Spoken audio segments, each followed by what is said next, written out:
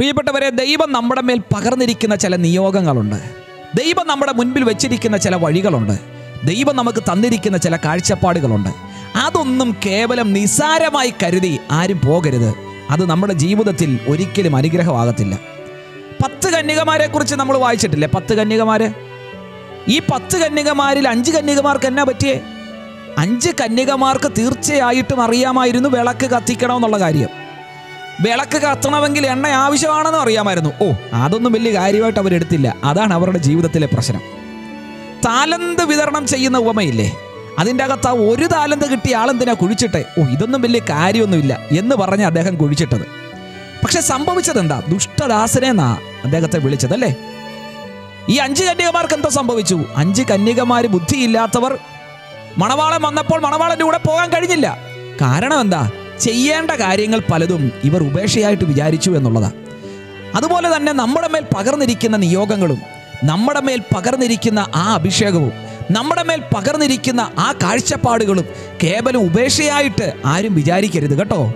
വാഗ്ദത്തങ്ങൾ പലതും ജീവിതത്തിൽ ദൈവം നൽകി തന്നിട്ടുണ്ട്. എന്നാൽ അതൊന്നും നടക്കാൻ പോകുന്ന കാര്യങ്ങളൊന്നുമല്ല. പിന്നെ അങ്ങനെ പലർക്കും പല കാര്യങ്ങളൊക്കെ പറയാം. എന്റെ ജീവിതത്തിന്റെ സാഹചര്യം എനിക്കല്ല അറിയൂ എന്നൊക്കെ പറഞ്ഞ് ദൈവത്തിന്റെ വാഗ്ദത്തങ്ങളെ ഉപേക്ഷയായി വിചാരിച്ചാൽ ജീവിതത്തിൽ നിനക്കൊരിക്കലും ദൈവത്തിന്റെ വാഗ്ദത്തങ്ങളുടെ നിവർത്തി കാണാൻ കഴിയില്ല.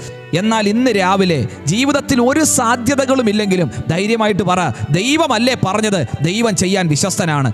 കർത്താവെ നീ എന്റെ മേൽ പകർന്നിരിക്കുന്ന ആ നിയോഗത്തിനനുസരിച്ച് മുൻപോട്ട് യാത്ര ചെയ്യാൻ എന്നെ സഹായിക്കണമേ കർത്താവേ എന്ന് നമുക്ക് ദൈവസന്നിധിയിൽ പ്രാർത്ഥിക്കാൻ പ്രിയരെ. നമ്മുടെ കണ്ണുകളെ ദൈവസന്നിധിയിൽ അടയ്ക്കാം.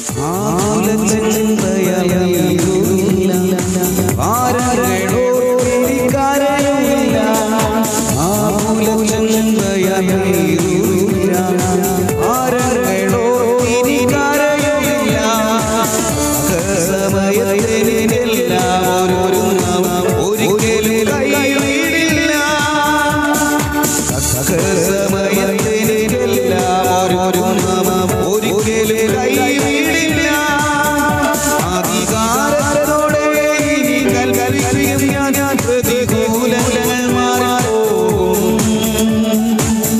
ഒന്നും അസാധ്യമായില്ല ജയം ഒന്നും അസാധ്യമായില്ല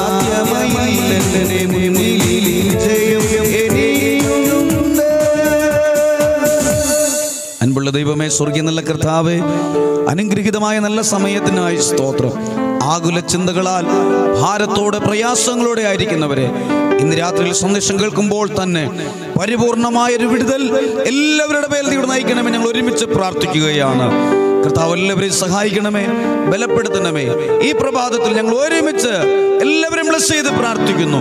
ദൈവകൃപ കൊടുത്തിരിക്കണമേ ആകുല ചിന്തകളാൽ വേദനകളാൽ വിവിധ ഭാരങ്ങളാൽ നിരാശകളാൽ ബുദ്ധിമുട്ടുകളാൽ ഇരിക്കുന്നവർക്ക് ആശ്വാസം പകരുന്ന കർത്താവിന്റെ കരങ്ങളിലേക്ക് ഏൽപ്പിക്കുന്നു. പ്രാർത്ഥന കേട്ടതിനാൽ നന്ദി. യേശുവിന്റെ നാമത്തിൽ തന്നെ. ആമേൻ. ആമേൻ.